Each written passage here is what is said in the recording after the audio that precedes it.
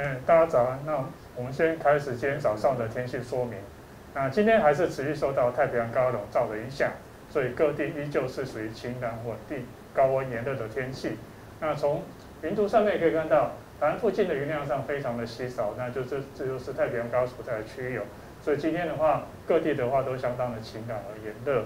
那从今天的灯号趋势也可以看到，除了新竹市之外，其他本岛的各个县市基本上都会有局部三十六度以上高温发生的几率，特别是在桃园以北、还有宜兰、台东地区还有花莲纵谷跟屏东近山区或河谷，会有连续三十八度以上高温出现的几率哦。所以今天的话，各地的中午前后的温度都是相当的高。那紫外线也偏强，所以外出的话一定要做好防晒，并多补充水分。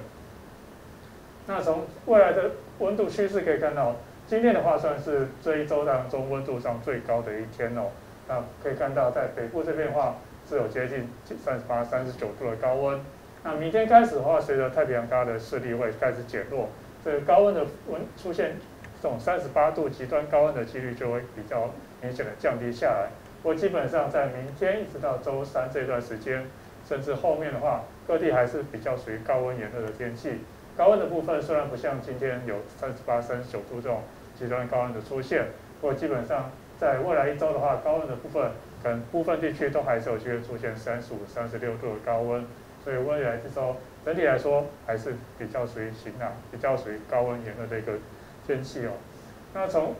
预测天气图可以看到，左上角这张是今天晚上的预测天气图，可以看到整个高压中心几乎就在台湾的附近哦，所以今天的话是在高压笼罩的影响之下。所以各地都比较晴朗，午后的话只有山区有一些比较零星的午后的短暂雷阵雨。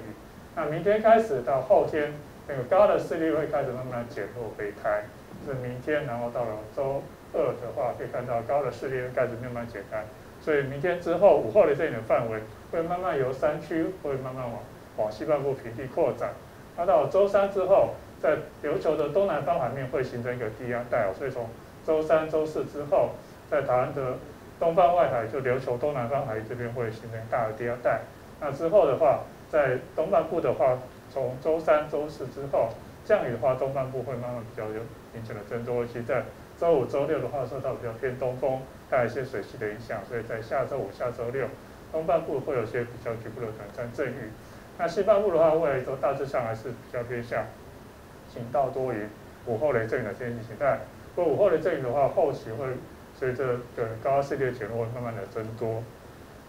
那从降雨的趋势来看，这是今天的一个降雨，其实主要都是在山区，而且相当的会比较零星哦。那明天的话，高压开始减弱，不过明天午后的阵雨的区域主要还是在山区，那范围会有比今天稍微扩大一点。那到了周二之后，呃，整个高压会再进一步的减弱，所以午后的阵雨的话，慢慢由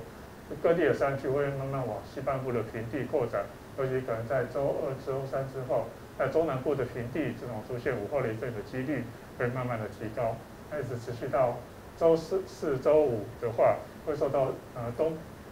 东方外海这个低压带带来一些偏东风的水汽，所以从周四周五周六的话，在东半部可能不定时会有一些比较零星的一个降雨。那西半部的话，